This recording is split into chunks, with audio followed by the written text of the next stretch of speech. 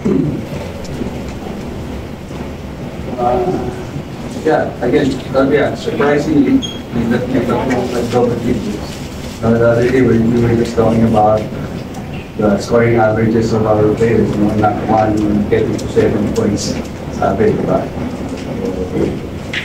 It's nice that today, at least, guys, guys were, some guys were connected. So, nakatulong talaga yun sa, uh, we played well, well, we played decent defensively, and then supported by, uh, it's always a key to, to win. uh, di that we know that uh, in the coming weekends hindi pa ninyo gaano control yung what will happen on uh, the standings. Pero ga, ano, gaano kasi uh, kahit pa paano on this game ito yung kumbaga nagawa nyo yung kailangan nyo gawin dun sa mga kaya nyo kontrolin Lagi naman sinasabi ni Coach Nash na buhay pa kami. Um, siguro uh, sa game versus UE, mas sipagan pa namin para makapasok kami ng final. Coach, um, already Jer- Jerome Lastimosa since the first one. Um, can you talk about the team's character ito um, hanggang sa hanggang sa last day kung baga nandun pa rin kayo sa, ano, sa kanila. Yeah, I, I talk, sabi pala ni Jerome Reyes, si William, no, shout out na.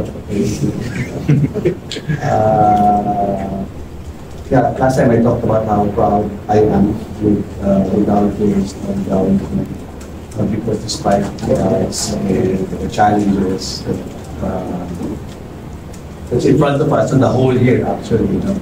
Pero ito nga, buhay pa rin. Uh, meaning we are competing as a team. The players deserve credit because they, they've been doing their part. So, Kaya the last time I, I talked, I was hindi naman emotional but it was really coming from the heart. Kasi uh, ang ang, pina, ang gusto kong maging masaya dito yung mga bata. Diba? So, natutuwa ako because now, yeah, because yung mga trabaho na pinapasok nila, we're getting rewarded. And that's something that we always tell. As long as do your part, you do the work, you know, yung mga mistakes that we I will reward you. I think today the reward is buhay pa nga tayo. So that, that's, that was the goal at the beginning of today's game. Ay natin mamatay yung araw. They, they, they know how uh, important the game was.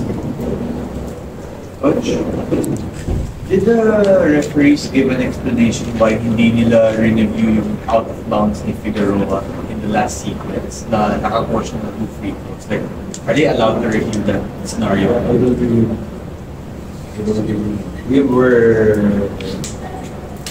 I don't, I don't. Coach, uh, They review if they want, I think, I guess. So during that time, we tried asking for review. and, it wasn't possible. They, the, the incorrect call. Really, wala, you cannot change. You just see that in the. Coach, uh, heading into your next game, Precious Momoe, who is coming off of a suspension game, is returning for you. So, uh, how will Adamson approach that, that, that challenge? And for sure, not just because he's coming off from one game suspension, but also because he'll be playing the last game. So for sure, he'll be all out.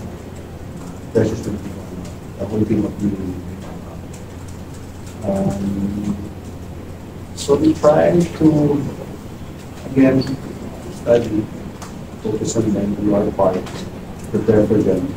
Hopefully, take our business uh, Sunday. I know we are, we don't have full control of our chances of finding. Yeah, and we focus is just at our game Nabigat sa lahat ng pagsubok na pinagdaanan yung mula ngayon, at mula nung umpisa, ano na lang yung panghahawakan niya sa final game na kumbaga ngayon, malayo pa yung goal pero malayo na rin yung narating. Ayun pa, pero Malayo na. Kakabasa ko rin, may kita-kita mo yun.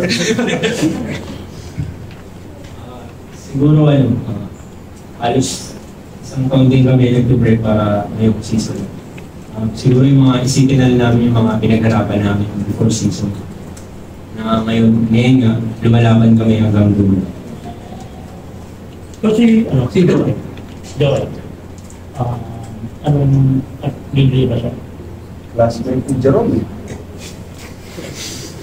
Lagi ito sa 2, 3 lang. Um, yeah, again, players namin are trained, the viewers trained to, fight.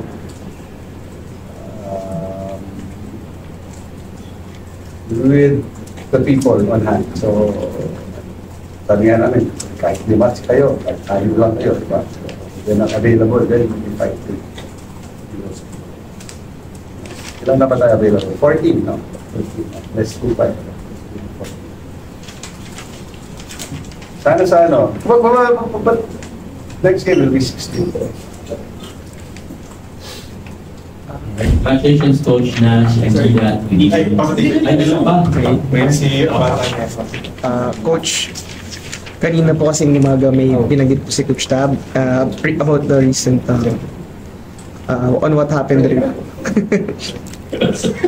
ano po, ah, may binanggit po siya kanina po dun sa naging ano rin po action ng UAP and dun sa about sa referees din. Then, kumbaga medyo pinaringgan niya rin po kayo dun kanina. Ako? Lagi yung pangalan ko. Hindi naman po, pero yung action sa mat. Pero on, referring to sa pagpa-pressure daw sa mga referees daw po. So, meaning ako nag-pressure sa Ha? Was that according to Coach Shaq? Si Coach Shaq is a good friend of mine. Okay, we were together in the Talking Pigs, we were together in Sardinas, uh, nasa Spain kami, he was the coach. I was under Coach Shaq he coached Regulas in 2016, 17 yan. So, nag-golf kami niyan. So, Coach Shaq is a good friend of mine. I'm surprised, no? Hindi ko nabasa eh, pero Ngayon na po. That's what you're saying, I'm surprised that he made that statement. To what effect? ano lang po, binanggit lang po yung naging ah, kumbaga mas naging mas naging public consensus daw po na nagkakaroon daw po ng favor, ng favoritism, nagkakaroon daw po ng certain ah, nagkakaroon daw po ng certain Favoritism towards other, other teams. which team? Ay, ano pong binanggit eh. Oo. Kasi they could see in one way, I could see another way. It's really subjective. Yung mga ganyan. But uh, yeah, referee is uh, it's really hard. Uh, It's very challenging.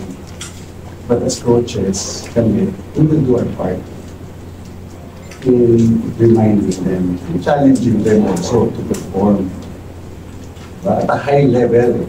Yun lang yun ang ano namin eh, di ba? Because we work. Our part, study. But aside from us, again, it's the players. I'll be happy with people I'd be happy with people to speak up if there are things that are wrong.